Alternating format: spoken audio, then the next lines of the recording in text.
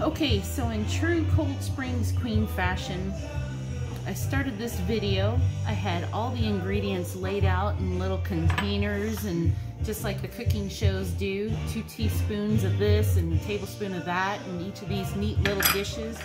Brought out my nice Asian dishes for you. I put it all in the uh, bread maker bucket and I started the bread machine, had the video rolling, and my intent was to pause the video and then finish it out after the whole rising process was done. But you guys know what a lunatic I am. I was trying to use a new camera and apparently when you pause a video on that camera, unlike your cell phone, it times out after 30 seconds and just shuts itself down. So I don't have a way of splicing two separate videos together. and so I decided I was gonna let the bread rise and talk a little bit about what I made and then we'll finish out the video on my cell phone.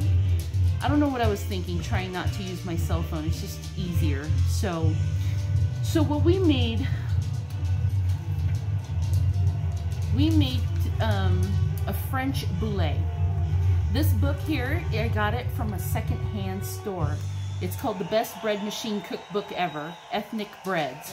And it's got breads from Asia, Bavaria, Germany, um, Cuba, everything. So it's a great little recipe book. Um, French boulet is something that I've actually had before. It's a great sandwich bread or a bread to kind of slice up and put into soup. It's not a sourdough. I'll make a video about sourdough next. I am making sourdough a little later too, so don't don't think I forgot about that.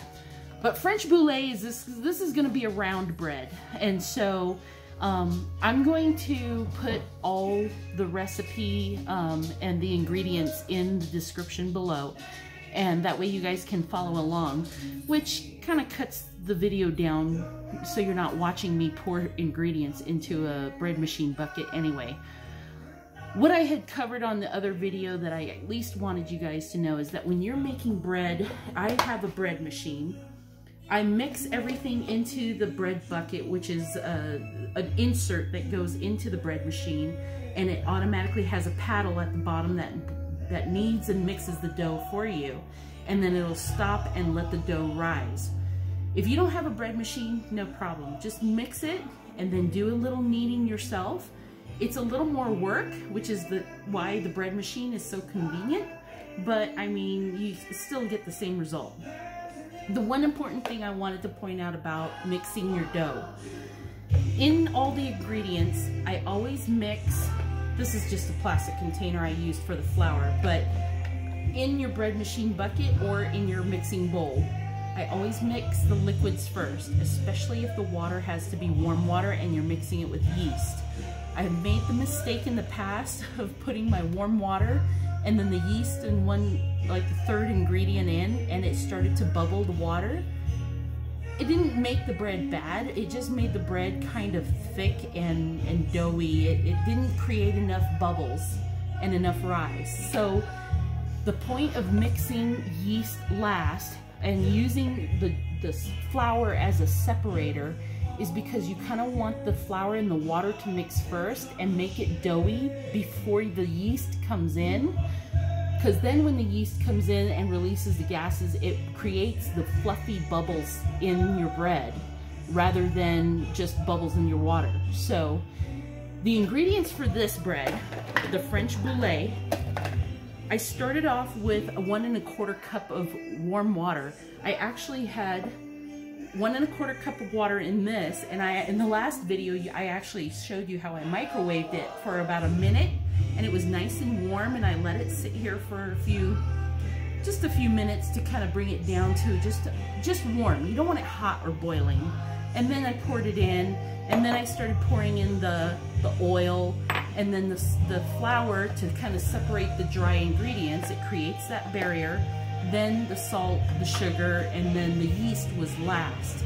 So, the ingredients, like I said, I'm going to type it in the description below. It's one and a quarter cup of water, one tablespoon of vegetable oil, and then I put in my three cups of flour. And then just there's like a teaspoon and a, half, and a half of salt and one tablespoon of sugar. So all the dry stuff on top, right?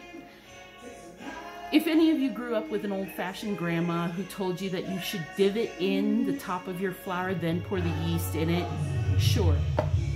To me, I've never seen it make a difference. So do what you will. If you want to put it a little different and pour the yeast in it, it requires two teaspoons of active dry yeast. So one and a quarter cups of water, one tablespoon of vegetable oil, one and a half teaspoons of salt, one tablespoon of sugar, three cups of bread flour, and active dry yeast, two teaspoons of active dry yeast.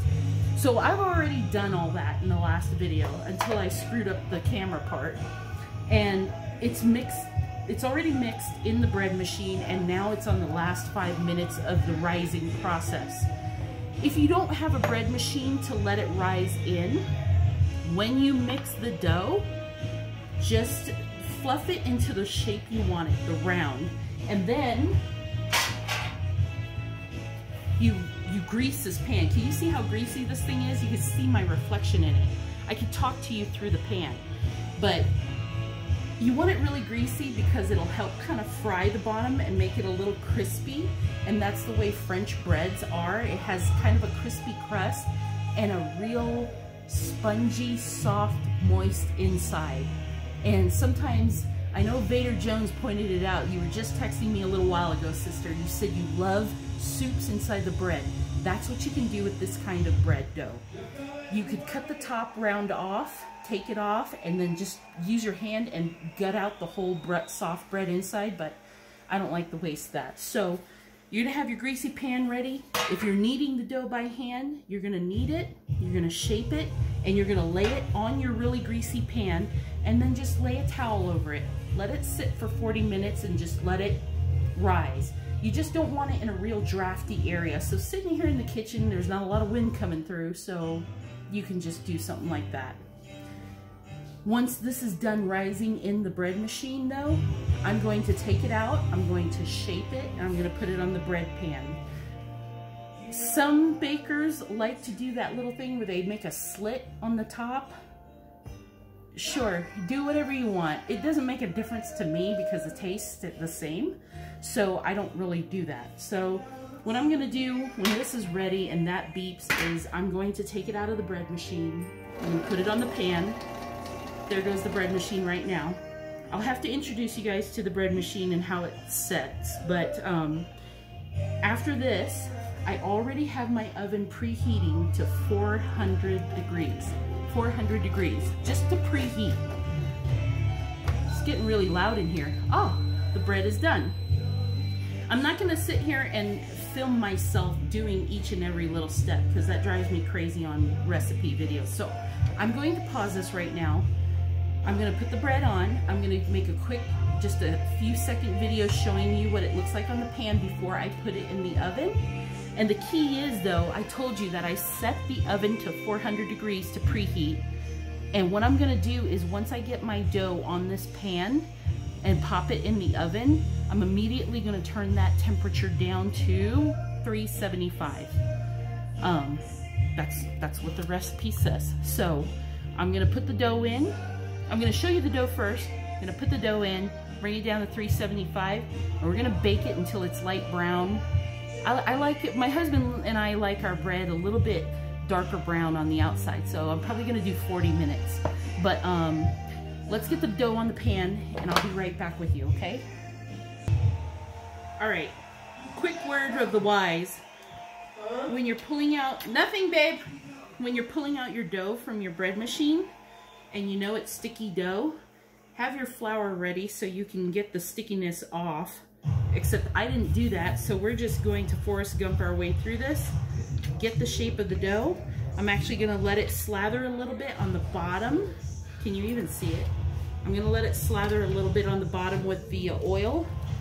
And I'm gonna do a quick flip because the oil coating on the top is gonna make it have that smooth round okay?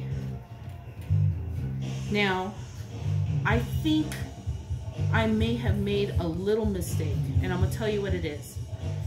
the dough was rising real good. See, this is my bread machine bucket. This is the bucket that I pour all the ingredients in and then I just put it in the bread machine and then it just it has a little paddle down here at the bottom. You can see that paddle? That starts spinning around and mixing everything. Um, it was on a setting and it was rising really good. It was all the way up to here. And then while I was talking to you, I heard the paddle start kicking in again and I thought, well, that's part of the process. I probably shouldn't have let it do that because then when I went back and pulled this out, the bread was all the way down to here.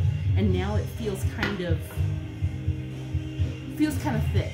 So what I think I'm gonna do is I'm gonna let it sit for about five minutes and let it get a little more rise into it. Then I'm gonna pop it into the oven. It's sticking all over my hands, it's ridiculous. So, lesson learned, um, five minutes, pop it in the oven, turn the oven down to 375, and then wait about 30, 40 minutes. And then we're gonna come back and see how this turned out. It's either gonna be some really thick bread, in which case we can just put it in soup, but we really want that nice fluffy bread with the hard crunchy outside. You I wanna be able to tap the bottom of it and have it give off a hollow sound, if that makes any sense. That's when you know you have a nice light bread inside. So let's give it a shot and uh, hope I didn't screw this one up too bad. Okay, are you guys ready? That's it. It did rise a little bit, so it, it actually rose up off the pan a little bit. If you look at the bottom there, there, you see the real brown on the bottom? That's the crispy we wanted. And the top is nice and light brown. I was thinking about letting it go a little more so that it gets a little darker brown, but this is good. This is really good. So, and you should smell it in here. It smells amazing. So, this is the French brulee. This is how I remember it. And um, it's really hot. And so I want to see if I can try to flip it over. And so these are my chicken towels. Crazy Chicken Lady has to have crazy chicken towels. And just so you guys know, I did keep track of the time on my little chicken timer. So when that went off, that's when I knew the bread was done. Oh, comes right off the pan. Look at the bottom. Nice and bubbly. It's perfect. And it's, I don't want to touch it when it's hot, but let's see here. Get my little Chinese spoon. You hear that hollow sound? That's when you know it's gonna be light and fluffy inside. So, French brulee, you guys, or yes, Boule, not brulee. Brulee is the dessert. Anyways, it's been a long day. As you can see, the sun's almost going down now, and we've got some French brulee for dessert, uh, for dinner.